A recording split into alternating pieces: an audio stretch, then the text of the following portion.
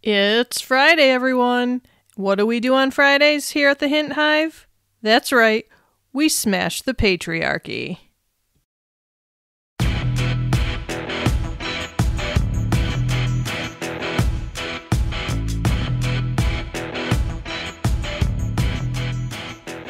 Hey there, Hive. Welcome back to the Hint Hive, amplifying women's voices. I'm your host, Kelly Hint, Queen Bee of this hive, and today we're tackling a topic that doesn't always get the spotlight it deserves financial independence.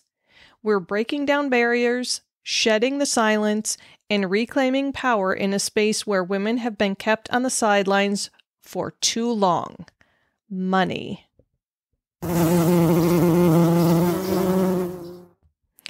Why on earth is it that talking about money feels so taboo for women?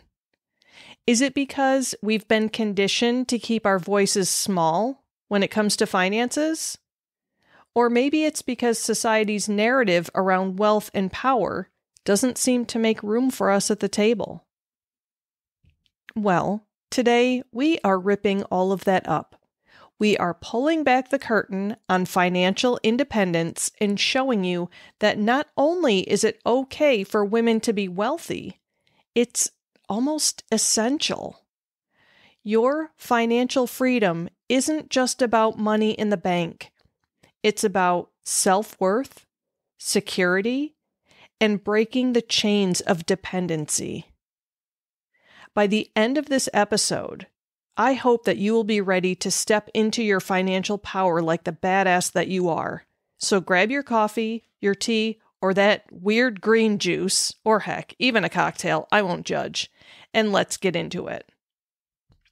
All right, let's kick this off by talking about why money matters, especially for women. Historically, we've been told that money isn't our domain. Men brought home the bacon and we were supposed to manage the household, right? Wrong. That outdated narrative is what has kept generations of women financially dependent on men. And while it might have worked in the past, kind of, today it's downright dangerous. Why? Because financial independence is the foundation of freedom. When you have your own money, you can make your own choices. You're no longer bound by the financial limitations of a partner, a family member, or even a job that undervalues you. Financial independence lets you walk away from toxic relationships negotiate better pay, and choose the life that you want to live. It means that you can buy that house, start that business, or travel the world. Whatever your version of freedom looks like, it's within reach when you take control of your money. And listen, I get it. Talking about money can feel uncomfortable.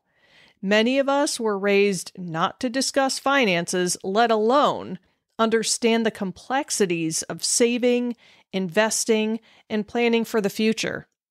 But here's the deal money is power. And it's time for us to stop feeling guilty about wanting it. We deserve to be financially secure and thrive just like anyone else. Period. Let's dive deeper into that discomfort around money. Why does talking about finances bring up so much fear for so many women? Here's where the therapist in me steps in. A lot of it comes from our upbringing. Maybe you grew up in a family where money was scarce, so you learned to fear not having enough. Or maybe you watched your mom or another female role model struggle financially, and that left an imprint on you. Or perhaps you were taught to rely on someone else for money, and now the idea of standing on your own feels overwhelming. Well, unfortunately, that fear is valid. It's real. But here's what I want you to remember money isn't just numbers in a bank account, it's an energy exchange. And you have the power to control that energy. Start by examining your relationship with money. Ask yourself, how do I feel when I look at my bank account? Do I feel anxious? Or am I avoiding it altogether?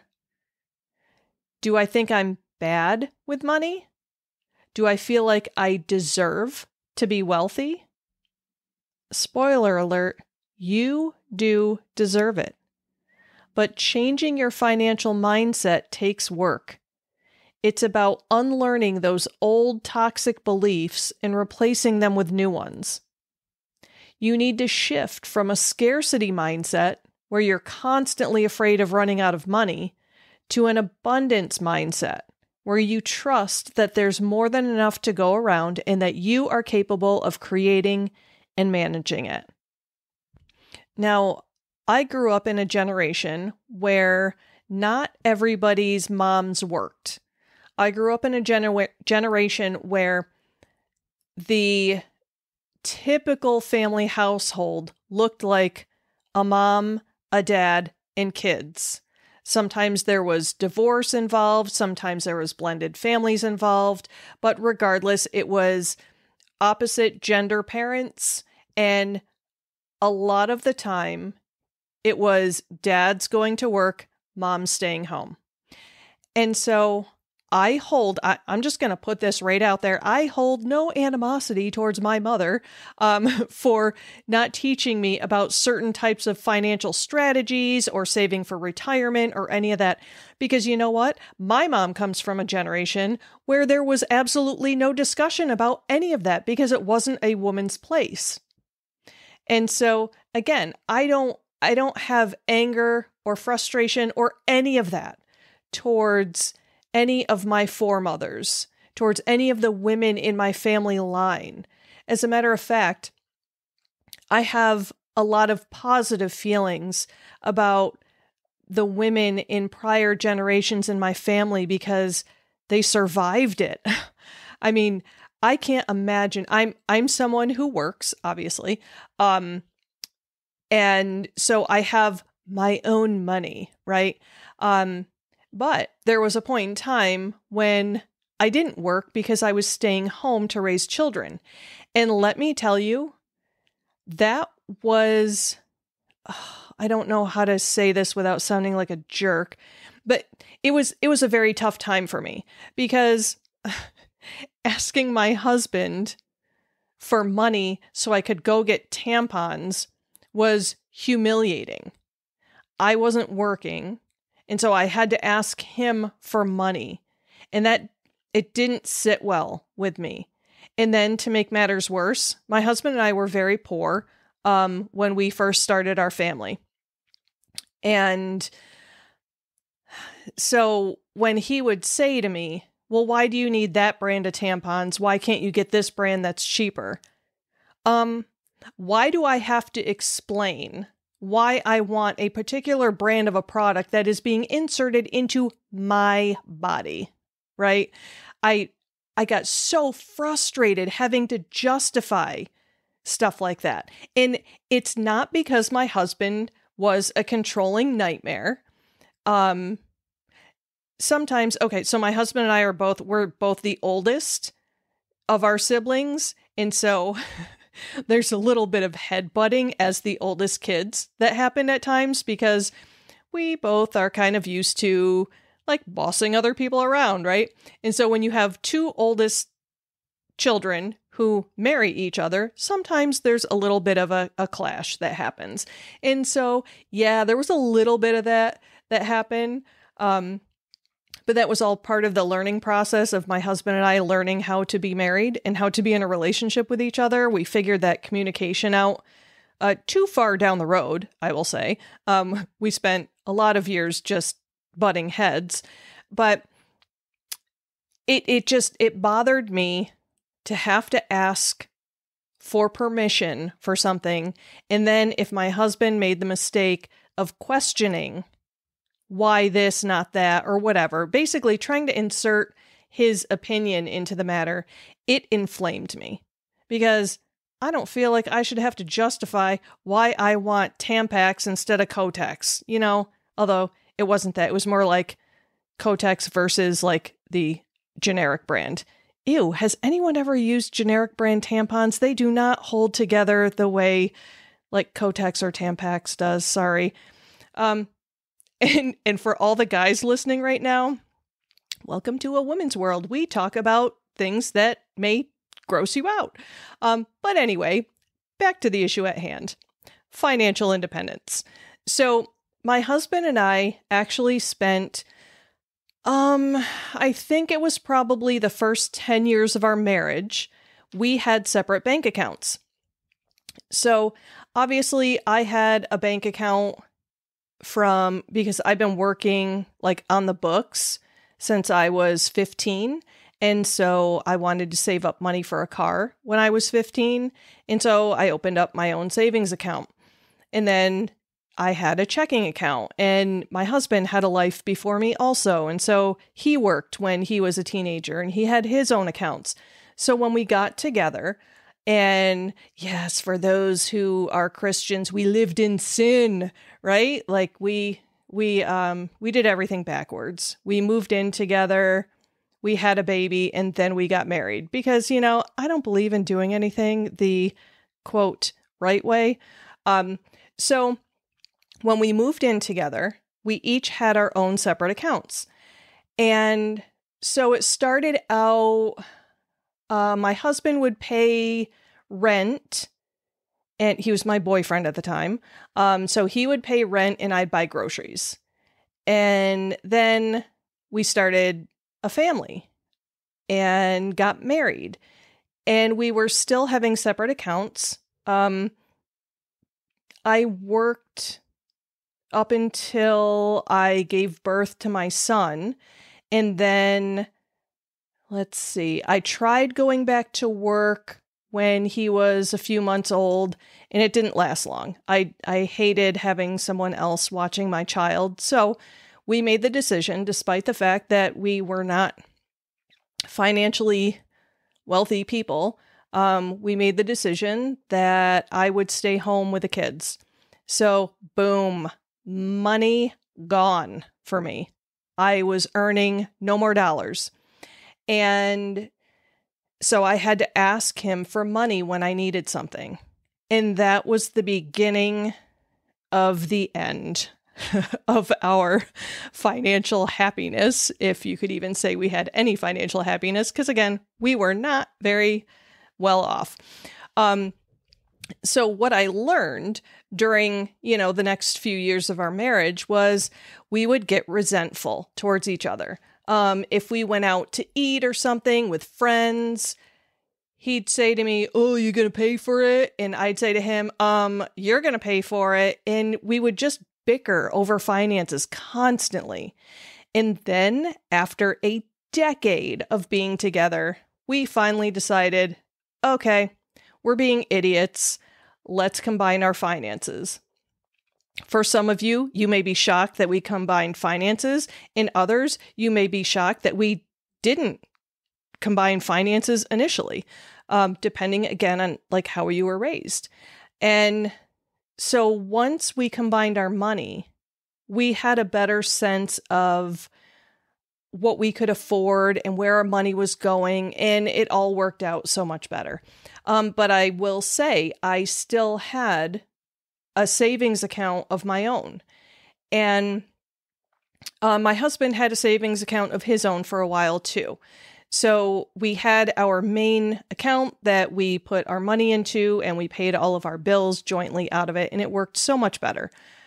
And I hung on to my own separate savings account for a while until I felt more confident that I didn't need a plan B, an escape. Because for a very long time, I did not trust men, even the one that I married. And I never wanted to feel trapped.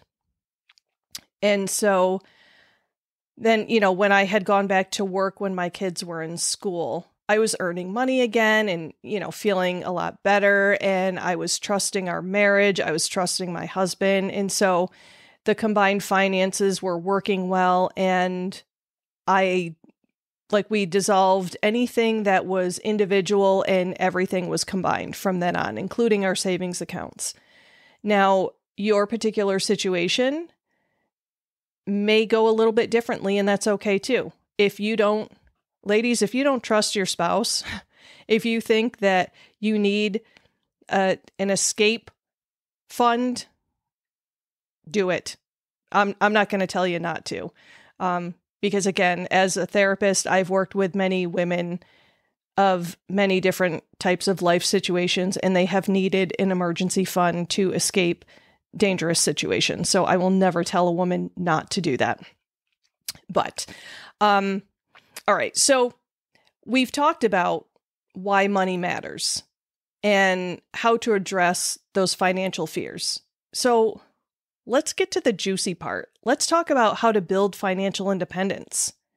So, step one know your numbers. First things first, you have to know where you stand financially. I know, I know, looking at your finances can feel like pulling off a band aid, but trust me, it's necessary. What's coming in? What's going out? What debt are you carrying? Take a good hard look. Because financial independence starts with awareness.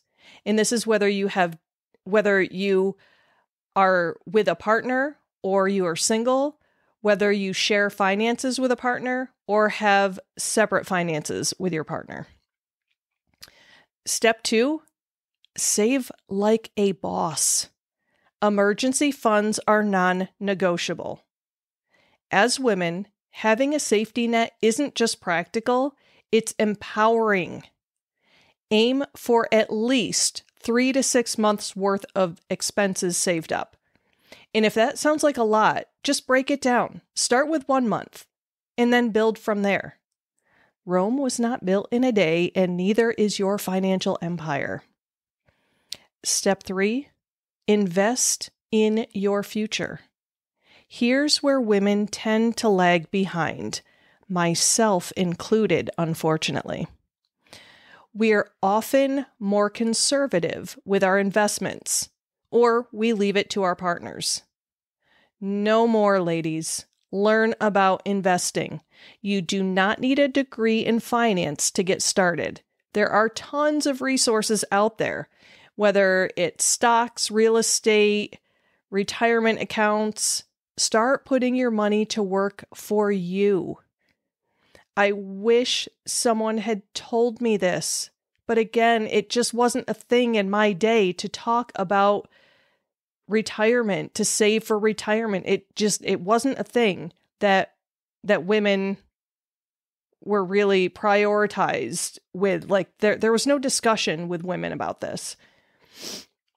And then step 4 negotiate everything ladies we have to talk about pay women statistically earn less than men for the same work but that gap gets even wider when we don't negotiate.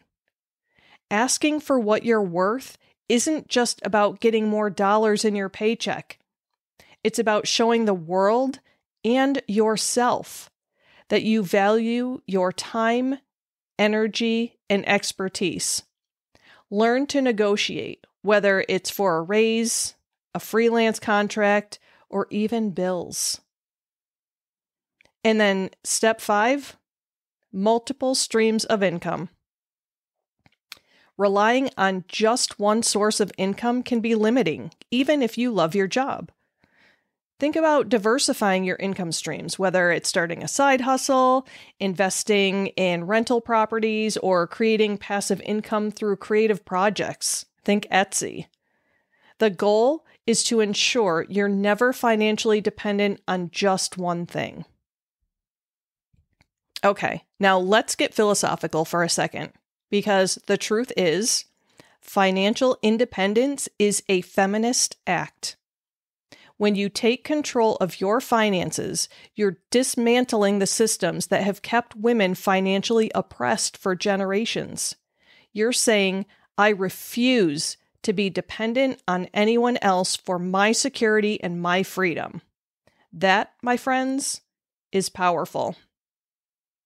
Because money is not the root of all evil, it's the root of possibility. And for us as women, the more financially independent we become, the more we can create change, not just in our lives, but in the lives of others. When we lift ourselves up, we can lift up our communities, our sisters, and the next generation of women. Okay, let's wrap up with some action steps. Here's what you can do today to start taking control of your financial future. First step check your bank account. Start by getting familiar with your finances, whether joint accounts or separate accounts, doesn't matter if you have a partner. Step two, create a budget. If you don't have one, now's the time. Keep it simple. Start initially with the money coming in and the money going out, your housing expenses, groceries, utilities, any car payments, stuff like that, just to try and get a feel for where the money's coming and going. And then the next step, set a savings goal. Even if it's just $50 this month, start saving something. When I was starting out, I started by saving $5 a week. That's it. 5 bucks. And it it grew into much more than that. In the next step, learn about investing. Pick one resource, whether it's a book, a podcast, or a course, and educate yourself on investing. And then the last step, talk about money. Find a friend, a mentor, or a financial coach and have an honest conversation about your financial goals. And for those of you who have partners, talk with your partner about money. I know it's uncomfortable. I get it, especially as women, because it's almost like we are coming from a place of inferiority. It's almost like we're coming with our, our heads bowed and batting our eyelashes, saying, Can can I have some money? No. No, we've got to take our power back. Get confident in why you need to talk with your partner about money. You have every right to discuss finances with your partner. You have every right to know what's coming in and what's going out and to plan for your future. Financial independence isn't just about numbers, it's about freedom, power, and possibility. It's about creating a life on your own terms. So let's stop being afraid of money. Let's stop apologizing for wanting it. And let's start owning our financial futures like the queens that we are.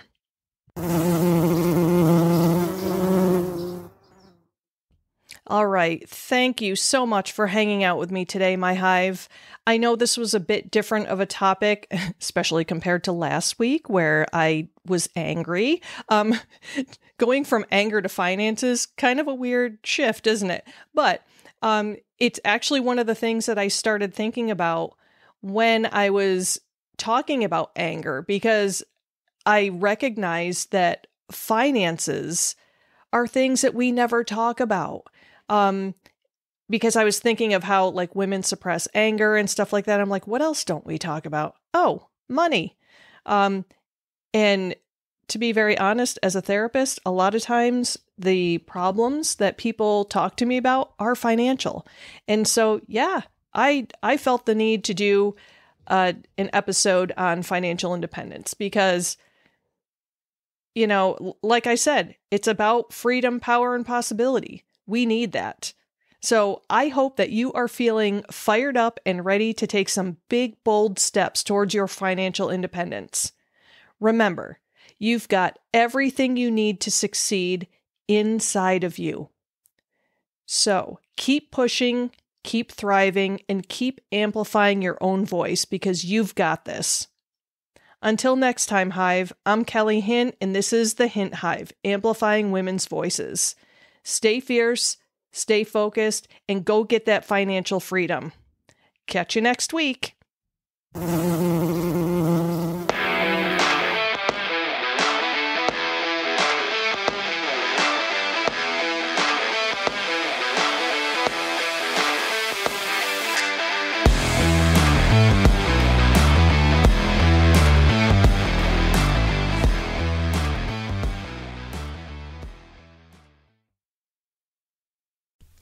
This podcast is powered by Kelly Hint Empowerment Coaching as well as Kelly M. Hint LMHC and The Cranky Counselor. To find out more about coaching services, head over to CoachKellyHint.com. If you'd like to know more about the psychotherapy services I offer to individuals within the state of New York, you can check out kellymhint.com. And if you'd like to learn more about aromatherapy, you can check out thecrankycounselor.com.